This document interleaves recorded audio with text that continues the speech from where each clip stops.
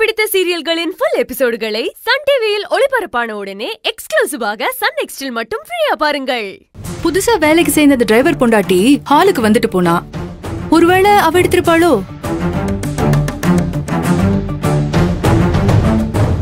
ஏய் நீ போய் அவளை கூட்டிட்டு வா. சரிங்கம்மா.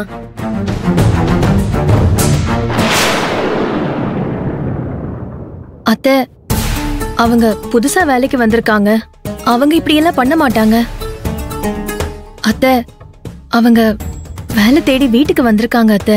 அ, வாழ்க்கையை தொலைக்கிற மாதிரியான விஷயம்லாம் அவங்க பண்ண மாட்டாங்க அத்தை. பாவம். ஆ, அந்த பொண்ணி திருடலன்னா வேற யாரு திருடி இருப்பாங்க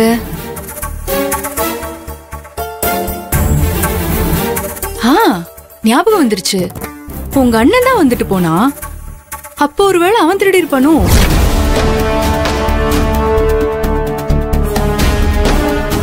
என்ன பேசுறீங்க? ஏன் கோவப்படுற? நடந்ததை வச்சு என் மனசுல பட்டதை நான் சொல்றேன்.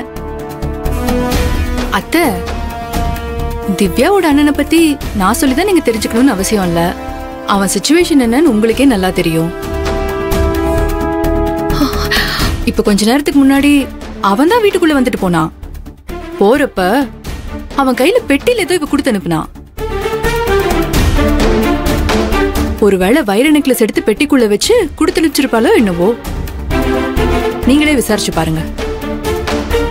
இங்க பாருங்க. அனாவசியமா என் அண்ணன் மேல பழி போடாதீங்க. அவர்கிட்ட பணம் இல்லதான்.